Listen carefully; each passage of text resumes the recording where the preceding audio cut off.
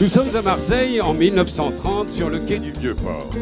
Promenons-nous parmi la foule bigarrée des marins, des pêcheurs, des dockers, partout des caisses de café, de thé, de cannelle qui sentent les pays du Grand Large. On vient de voir un arrangement spécial que Vladimir Kuzma a fait de son opéra euh, en jazz, puisque c'est un grand fan de jazz.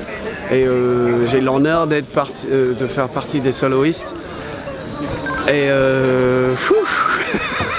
c'est ouais, c'est c'est quand même cette musique, cette musique elle est tellement forte quoi. Elle te prend là et tu dis ok bah là il faut que je, je sois au-dessus de ça quoi.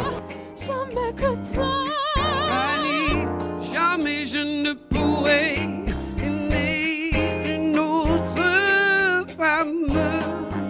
Jamais, jamais. Et si Vladimir est content, je suis content. Tu as fait des progrès, tu parles presque le français. J'étais très très heureux. Savez, je suis depuis longtemps un ami du, festival, mais là je suis devenu encore plus ami.